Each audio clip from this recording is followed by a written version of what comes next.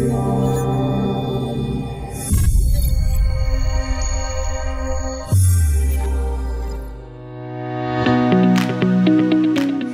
and welcome back to our channel. I'm Daisy of Dumaguete InfoNet Service. In this video, I'll be showing you how easy it is to get a barangay clearance. What are the requirements and procedures? Before we start, make sure you subscribe to our channel and click that notification bell so you won't miss any of our upcoming videos.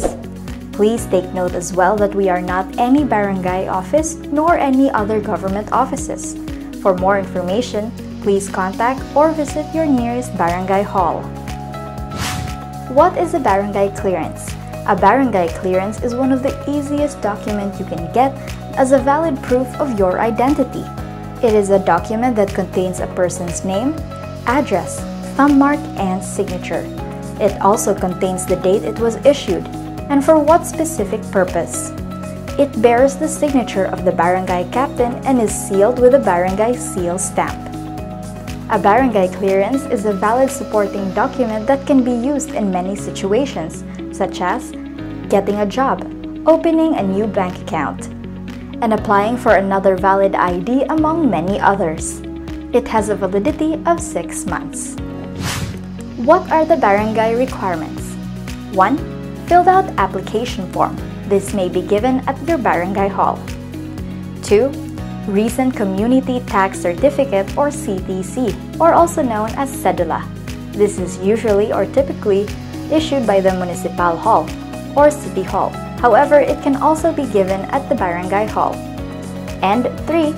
Your barangay clearance fee at 25 pesos. Please be reminded that this may vary depending on your barangay. However, it will not exceed 100 pesos. What are the 7 easy steps in getting your barangay clearance? Step 1. Visit your barangay hall. Step 2. Politely ask the secretary or officer in charge that you want to get a barangay clearance. State your purpose as well.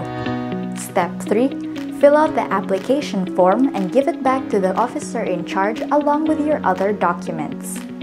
Step 4 pay up the fee. Step 5. Upon determining that your name is clear or free from bad records, the officer will print your document. You will affix your signature and thumb mark on the barangay clearance. Step 6. Wait for the barangay captain or his or her representative to sign the document and be sealed by the barangay's official seal. And finally, step 7. Claim your barangay clearance. That's how easy it is to get your barangay clearance. Please take note that some steps may vary depending on the barangay. That's it for this video. Thank you for watching. Again, please take note that we are not any barangay office nor any other government offices. For more information, please contact or visit your nearest barangay hall.